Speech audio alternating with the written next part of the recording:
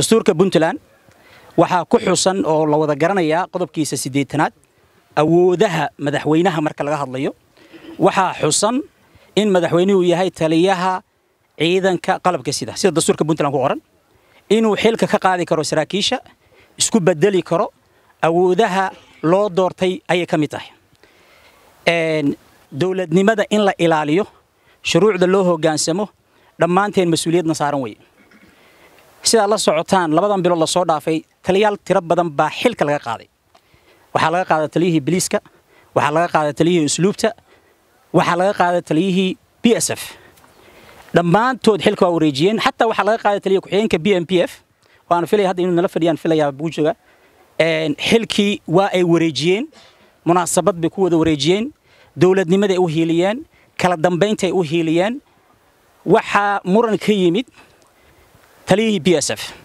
Oo anigu aan aaminsanahay runtii arrintaas inaysan sax ahayn dowladnimada sax ku ahayn wada deganaanshaha iyo amniga guudna aysan sax ku ahayn.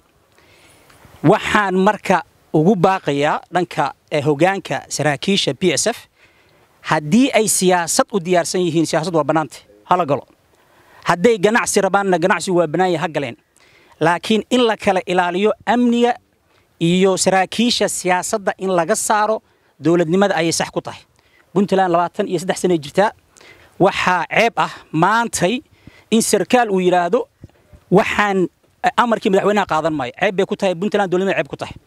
Waxa kaloo iyadana muhiim ah runtii oo ay iftiiminaysaa arrintan ciidamada ay naga caawiyaan dowladaha aan saaxiibada nahay.